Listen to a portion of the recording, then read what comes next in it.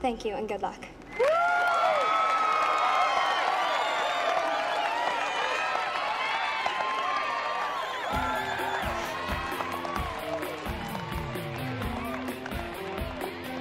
Hmm. Persistent, isn't he?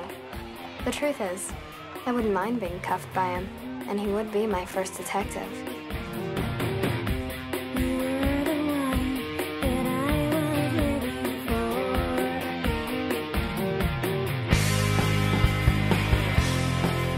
Like I promised, with desire, focus, and the willingness to treat any obstacle as an opportunity, it's amazing what you can accomplish.